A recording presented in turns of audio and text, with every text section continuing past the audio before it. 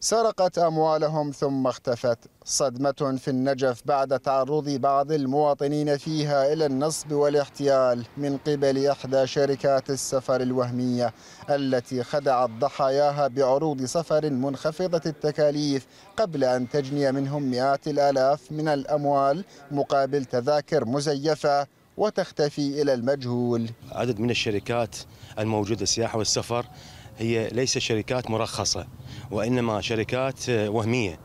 بالإضافة إلى يستغلون المواطن من حيث التذكرة من يقطع تذكرة المواطن من الشركة الفلانية أو الشركة السياحة يلاحظ أنه التذكرة هذه وهمية ما موجودة أصلا. بالإضافة إلى يوجد بعض الشركات الوهمية تستغل المواطن من حيث الدولار بحيث تأخذ جواز السفر مالته أو مستمسكاته تصرف به ورق على 132 دولار. شركة أخذت جوازات وفلوس من بعض الأخوة المسافرين وطلعت شركة وهمية.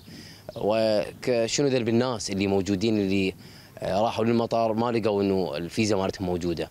أو اجوا للشركه لقوها معزه هاي المشكلة هنا. ليست المرة الأولى التي يتعرض فيها النجفيون إلى الاحتيال عن طريق شركات سفر وهمية لكن هذه المرة هي الأكبر وأثارت عديد التساؤلات عن دور الأجهزة الأمنية المختصة لا سيما الأمن السياحي في رصد ومتابعة الشركات المزيفة التي تروج لخداع ضحاياها علنا في وسائل التواصل الاجتماعي أيضا. تؤثر تأثير سلبي على الزائر خاصة من خارج العراق والذي يأتي ل يعني الحصول على تأشيرة أو فيزا أو بطاقة السفر. لا يزال الأمن السياحي يعني جدا دوره ضعيف في النجف الأشرف وما أعتقد أنه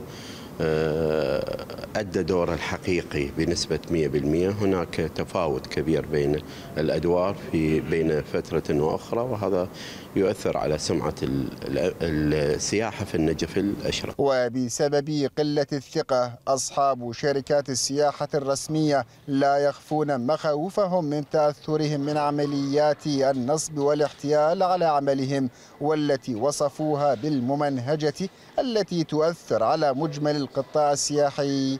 في المحافظة. من النجف محمد رزاق. التغيير. فيها مشهد.